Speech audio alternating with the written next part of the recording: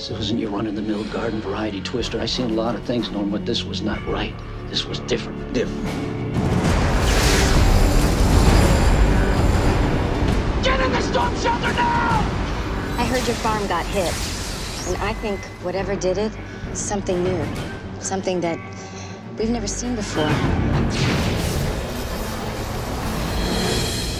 We've had some very bad weather lately, Sheriff, and I don't know if you've noticed, but it hasn't been making the news. I have noticed. This thing is escalating, man. Do you understand? This is more than a couple of isolated twisters we're talking about. If we're right, Armstrong, there aren't going to be any safe houses in Chicago or anywhere else. That's just the type of hysterical paranoia we're trying to prevent.